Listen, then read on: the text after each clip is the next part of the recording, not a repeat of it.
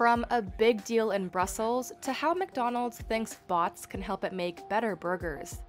This is Generation AI.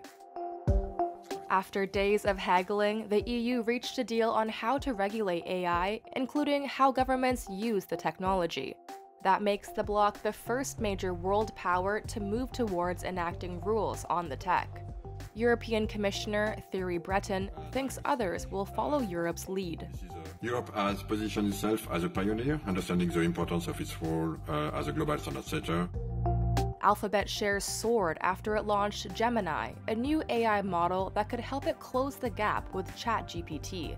The Google parent firm was long considered a leader in the sector, but lost that title when OpenAI's chatbot took the tech landscape by storm.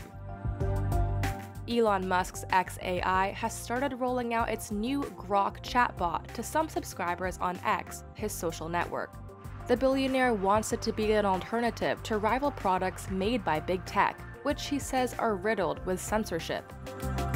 McDonald's is using AI to keep a closer eye on its restaurants.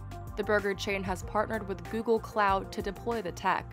It hopes AI will let it see what's going on in each store and help find cost savings.